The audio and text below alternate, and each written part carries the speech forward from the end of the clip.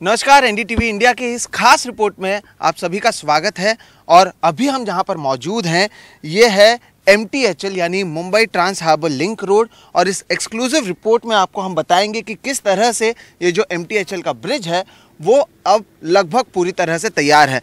जो तस्वीरों में अब आप देख रहे हैं, वो मुंबई है।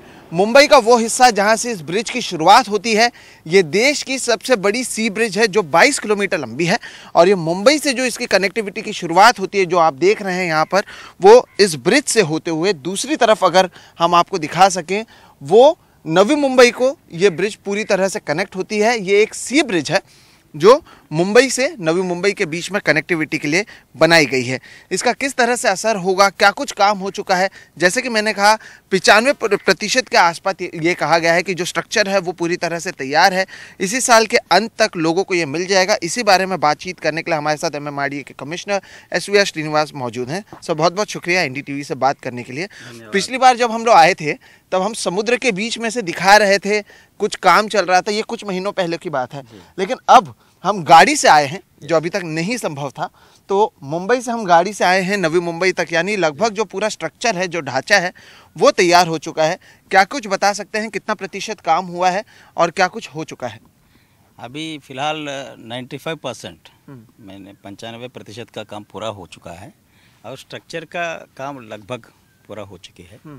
और कल पर कल हम लोग ये मेनलैंड ऑफ़ मुंबई को मेनलैंड ऑफ़ इंडिया को मुंबई को जोड़ने वाले हैं। सो so, कल शाम को ये प्रोग्राम हम्म। होने की संभावना है। हम्म। और रिमेनिंग जो काम है ना रोड हम्म। लेन का काम है इलेक्ट्रिकल का काम है प्लस इंटेलिजेंट ट्रांसपोर्टिंग सिस्टम एक हम लोग बिठाने वाले इलेक्ट्रॉनिक सिस्टम इलेक्ट्रॉनिक टोलिंग वगैरह वो काम बाकी रहेगा। सो so, ये हम लोग जो टारगेट किए थे दो साल पहले कि दिसंबर इस साल का अंत तक पूरा करने का। सो so, अभी भी पॉसिबल है। हम लोग हम लोग कोशिश कर रहे हैं कि दिसंबर तक पूरा करके और देश को समर्पित करें। बिल्कुल। तो ये जो प्रोजेक्ट है वो डेडलाइन के अंदर हो रहा है नंबर एक। सर हम इसके सिस्टम और बाकी चीज़ों की बात करेंगे लेकिन सबसे पहले अगर आप दर्शकों को बता सकें इसका प्रभाव किस तरह से होगा? कनेक्टिविटी की बात करें मुंबई से नवी मुंबई वो एक हो गई। और इसके अलावा जो इकोनॉमिक प्रभाव होगा उसके बारे में अगर आप बता सकें। यस करेक्ट कनेक्टिविटी के बारे में कनेक्टिविटी इज़ एवरीथिंग हम बोलते हैं। हम्म। सो so, मुंबई का कनेक्टिविटी पुणे से होगी एमएमआर रीजन से होगी हम्म। और गोवा की तरफ़ भी ये कोस्टल रोड जो होने वाला है उसको हम्म। भी जोड़ेगी। हम्म। और ख़ास करके मेनलैंड को वेस्टर्न सबब को भी जुड़ेगी वर्ली शिवड़ी लिंक के माध्यम से। सो so, कनेक्टिविटी का पूरा बदल जो होने वाला है मुंबई हम बोलते हैं कि नॉर्थ साउथ सिटी है। इसके तरफ़ से इसके वजह से एम के वजह से ये ईस्ट वेस्ट कनेक्टिविटी होने वाला है फ्यूचर में। ये एक बहुत मेजर संभावना है। हम्म। दूसरा है कि इकोनॉमिक ग्रोथ का इम्पैक्ट जो रहेगा इधर हम्म। ये इंजीनियरिंग मार्बल तो है ही है ब्रिज हम्म, उसके अलावा ये एक economic engine of economic growth जो बोलते हैं वैसा एक ब्रिज है ये। और इसके रीज़न ये दो प्रकार के हैं। एक कि मुंबई का आइलैंड सिटी हम लोग जानते हैं। जोग्राफी का कंस्टेंट है। सो लैंड का स्केरसिटी है।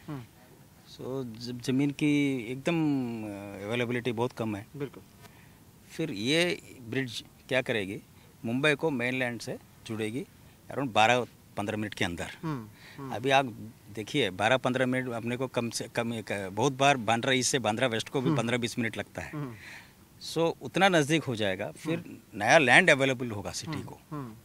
नई तरह के लैंड एग्जा एक्स्ट्रा लैंड अवेलेबल होगी। तो जब हो ये हो जाता है एक्चुअली क्या होता है? रॉ मटेरियल्स फिनिश्ड गुड्स और लेबर ये सप्लाईज है ना? जो सप्लाई चेन नया क्रिएट होने वाला है। मुंबई और मेनलैंड के बीच में। For economic impetus economic growth नया लॉजिस्टिक हब्स फार्मा सेंटर्स ये सब मेनलैंड में होने वाला है। वो पहले संभव नहीं था। हम्म, तो इसकी वजह से ये ब्रिज की वजह से संभव होगा। हम्म।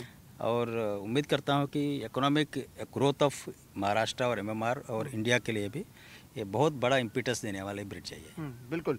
जो दो से ढाई घंटे का समय आपको लगता था वो पंद्रह से बीस मिनट में हो जाएगा। यानी घंटों का जो आपका सफ़र था वो मिनटों में अब हो जाएगा। उसका प्रभाव आप देखिए आप नौकरी करते हैं आप नवी मुंबई में रहते हैं मुंबई में नौकरी करने आ सकते हैं मुंबई से नवी मुंबई जा सकते हैं जिसका ज़िक्र सर आपने किया। इसके अलावा ये हम जैसा आपने एक शब्द का इस्तेमाल किया अभी इंजीनियरिंग मावल ऐसे कई सारी चीज़ें होने वाली हैं। यहाँ पर जो पहली बार इस देश में होगी पहली बार भारत में होने वाला है वो अगर आप बता सके क्या कुछ यहाँ पर देखने मिलेगा क्या कुछ नए टेक्नोलॉजीज़ का इस्तेमाल किया जा रहा है? एक तो ऑर्थोट्रोपिक स्टील डेक मैंने पहले भी बोला था वो तो पहले बार इंडिया में। दूसरा ओपन रोड टोलिंग हम लोग इंट्रोड्यूस करने का कोशिश कर रहे हैं। वो भी इंडिया में पहले बार होगी। जबकि आप लोग टोल भरने के लिए जाएँगे और रास्ते में खड़े होने की ज़रूरत नहीं तो आपका इवन फास्टैग होते हुए भी अपने को बूम बैरियर से स्लो करना पड़ता है। वो ज़रूरत नहीं पड़ेगी। डायरेक्टली ऐसी एटी किलोमीटर की स्पीड से हम लोग जा सकते हैं। ये इसके अलावा स्ट्रक्चरली है ना एक्चुअली इसमें काफ़ी सुपरलेटिव्स हैं। जो स्टैंड्स का स्टील का स्टैंड्स हमने जो किया था तो इस्तेमाल किया एक्चुअली वो पूरा पृथ्वी को एक राउंड ले सकते हैं। इतना लंबा स्टील हमने इस्तेमाल किया। और ये जो व्हीकल्स हमारा ट्रक्स वगैरह हम देख सकते हैं आप लोग इधर काम करने के लिए आते जाते हैं। उन्होंने इतना दूर कवर किया एक्चुअली लंबी कि इधर से चंद्रमंडल जा सकें। इतना उन्होंने यस यस इतना डिस्टेंस कवर किया। है so it's a project of superlatives है। सो खास करके ये समुंदर के पहले बार हमने इतना बड़ा प्रोजेक्ट ने इंडिया में किया है। सो so, ये नए तरह के चैलेंजेस थे इसमें। एक है कि फॉर एग्जांपल सीजनल चैलेंजेस है इसमें। काफ़ी सीजनल चैलेंजेस आते हैं। बिल्कुल। और वेदर का चैलेंजेस हैं। और सी सिकनेस होता है वर्कर्स को इंजीनियर्स को टीम्स को। सो so, और टाइडल चैलेंजेस बहुत काफ़ी है इसमें। हाई टाइड लो टाइड हर छः घंटे में हाई टाइड आता है उसके बाद फिर लो टाइड आता है और एक हाई टाइड आता है। सो so, दो बार होता है। That is but natural so उसके उसको देखते हुए हमको करना काम करना पड़ता है। बीच में कोविड भी आ गया था। Two thousand twenty twenty one दो साल तो बहुत ही वैसे भी मुश्किल था काम करना। उसके अलावा इंजीनियरिंग का चैलेंजेस काफ़ी थे। लेकिन हमारा टीम ने काफ़ी मेहनत करके ये काम किया है। और राज्य सरकार और केंद्र सरकार के एक्चुअली सपोर्ट से ये काम हो गया है। अदर इसके अलावा तो ये हो नहीं सकता बिल्कुल।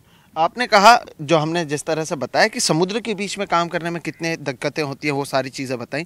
सर, आपने ये भी बताया कि पिचानवे प्रतिशत काम हो चुका है। हम गाड़ी से वहाँ से निकले थे, आए हैं और ये आगे तक जुड़ जाएगा, जैसे कि आपने कहा, इसकी शुरुआत भी की जाएगी। तो अब जो पाँच प्रतिशत काम बचा है उसमें क्या कुछ होगा? और अगर मानसून नहीं होता क्योंकि मानसून में जैसे कि आप कह रहे थे कि काम नहीं हो पाएगा कई सारी दिक्कतें होती हैं। मान लीजिए अगर अगर आने वाले कुछ महीनों में मानसून नहीं होता तो ये प्रोजेक्ट पहले ख़त्म हो जाता? ऑफकोर्स मानसून नहीं होता तो हम लोग तीन महीने में पूरा कर सकते थे। लेकिन हमने जो प्लान किया उसी हिसाब से चल रहा है सो कोई दिक्कत नहीं इसमें। मानसून में हम लोग रोड का काम नहीं कर पाएँगे because that is not possible because road खराब हो जाता है। आ, और इलेक्ट्रिक का काम काफ़ी अभी हम लोग शुरू करने वाले हैं वो भी अवार्ड किया काम भी शुरू हो चुका है। और इसके अलावा हम लोग नीचे एक इलेक्ट्रॉनिक और टेलीकॉम लाइंस भी डालने वाले हैं ब्रिज के नीचे से ट्रेस हमने लगाए। इसको वजह से एक्चुअली कनेक्टिविटी इलेक्ट्रॉनिक और टेलीकॉम कनेक्टिविटी भी बढ़ेगा एक्चुअली वो एक मैं लास्ट टाइम भूल गया था आपको बोलना। और इन एडिशन और क्या था आपको क्या क्वेश्चन पूछा कि और क्या क्या पाँच प्रतिशत में काम है और पाँच प्रतिशत में बेसिकली अभी इलेक्ट्रिकल वर्क है और रोड का वर्क है बस उतना ही बाकी है। वो ओपन टोलिंग बूथ वाला जो चीज़ है वो महत्वपूर्ण है कि आपको बिना रुके आपको जाना है और ऑटोमेटिकली जो आपके जितना भी टोल होगा वो डेबिट हो जाएगा। ये भी भारत में पहली बार हो रहा है। सर आखिरी सवाल है ये कि ये उतना ही सीनिक भी होने वाला है। पहले हमें पता चला था कि यहाँ पर दीवार बनाई जाने वाली थी। लेकिन अगर हम तस्वीरों में दिखाने की कोशिश भी करेंगे बाद में कि जो फ्लमिंगोज़ हैं यहाँ पर वो रहते हैं समुद्र का नज़ारा है। हम भी सुबह आए हुए हैं। धूप है लेकिन उसके बावजूद यहाँ पर जो आकर जिस तरह से फीलिंग है वो अलग है। तो इसे भी हटाने का एक फैसला आपकी थ्रू लिया गया था ये दीवार नहीं होगा और लोग कर इसका दो वजह पहले हम लोग ये देख नहीं पाते थे। ये ऐसे ही कंटिन्यू किया होता तो। हम्म, फिर हमने सोचा कि ये दो रीज़न से नंबर एक सीनिक ब्यूटी तो है ही। हम्म। बाईस किलोमीटर आप लोग कुछ नहीं देख सकते तो पब्लिक छोड़ने वाले नहीं हमको। और दूसरा उससे अलावा एक्चुअली जब दीवार बहुत बड़ा बनता है हाइट उसमें टनल इफ़ेक्ट एक होता है। हम्म। Actually that is not good for safe driving so हमने ये देखते हुए हमने नीचे कर दिया। और इसका एक्चुअली एंटी क्रैश टेस्टिंग भी किया था वो लंदन में हुआ सोल में हुआ कोरिया में सक्सेसफुली हुआ। फिर इसके हिसाब से नया डिज़ाइन बना के हमने ये सब तय किया जबकि जो करके फ्यूचर जनरेशन भी इसका आनंद ले सकें। बिल्कुल।